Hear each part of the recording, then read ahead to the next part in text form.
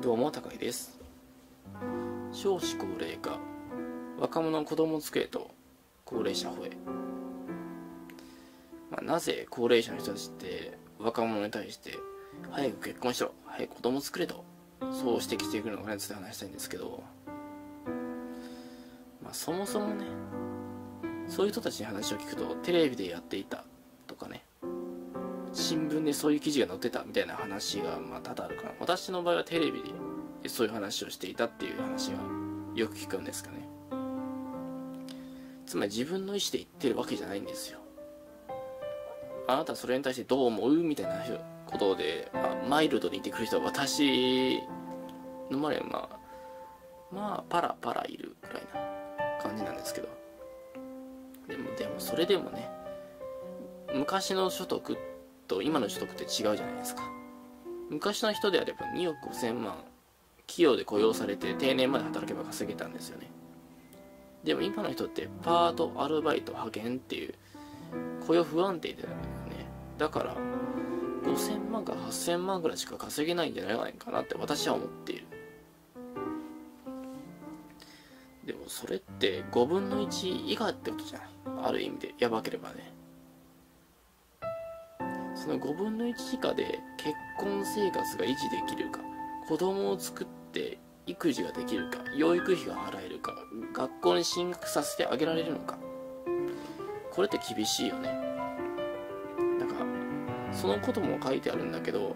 結婚した後に子供を作んないのが常識化してきてるっていうこともねこの本に書いてある。確かにそうだなって思って、まあ、さらにはですよ。この先痩せ細った若者が頑張って働いてるんだけど太く超えた高齢者をね複数人のそういう痩せ細った非正規の若者が頑張って必死に年金暮らしの高齢者を養ってるみたいなねことが書かれている。いやそういう時代になるよって。まあ笑えないよね。だからね孫が欲しかったらね是非とも子供に対してねお金を投資してあげてほしいっていう感じのね内容になってると思う。だからこそこういうふうにねあそうか将来そういうふうにやばいんだ。若者だけじゃなくて俺たちも協力しなきゃなっていうふうになってくればもしかしたら子供増えるかもね。さらにはですよ厚生労働省のデータなんですけど50歳時点で一度も結婚したことがない人の割合を障害未婚率と呼ぶが2015年度版厚生労働白書にあれば障害未婚率は1990年を境にうなぎ登りで現状2015年時点では男性は24.2%で4人に1人女性は14.9%で7人に1人だが2035年になれば男性は29.0%で3人に1人女性は19.2%となり5人に1人が生涯結婚しないという未婚大国の誕生となるっていう話です。だから早くね高齢者の人も決意して子供に投資をしてあげた方がいいんじゃないかな